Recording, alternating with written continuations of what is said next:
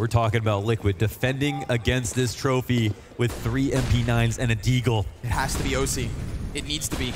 It's been a quiet map, but now he's got the op. He's got to stop m0NESY, who's been able to find some impact in these last couple. That AWP to shut down Yekindar. You know, Yekindar gets away with his moves. That's his whole shtick. He gets away with it. Always more than one. He does his game his way.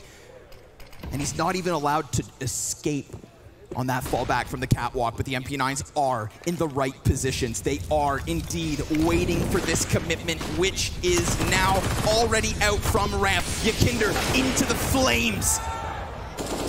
As he puts out that threat, the nade's gonna find him. No oh. chance to survive. That's two MP9s dead already. That's Elige leaning on a Deagle and G2 with a minute to work. Give Hunter a chance to thrive.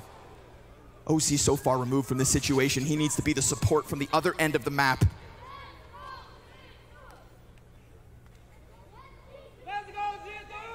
The tension's high. The hope's even higher. And a smoke goes into the window. They do not want to make this mistake. They do not want to give those guns back to Liquid. No more chances, because there will be no more attempts this year. Final chance to right the final chapter. Hunter, of course, turns it right into Elige, sent to the sidelines, and still oSee is nowhere to be found.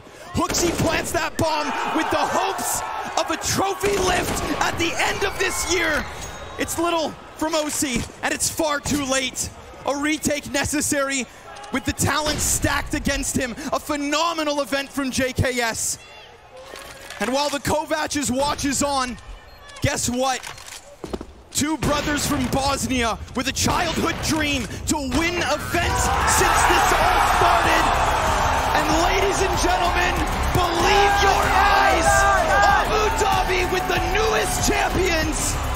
G2 do the unthinkable. They win a LAN. A first tier one victory for Hunter. A trophy in the cabinet. JKS, his second of the year. He did it with FaZe, and now he's done it with a team that no one had hope in.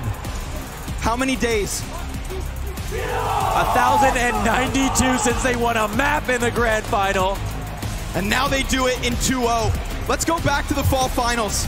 Let's go back to what Yekindar said. Oh, this isn't a different G2. I think this is a G2 that we've never seen before. The Bosnian brethren able to finally do it. JKS with a second this year. Hunter, his first. HooXi, there is nobody who had to deal with so much scrutiny. And honestly, I thought it was an endeavor that he simply could not take. I want everybody to just realize that this is the most human moment.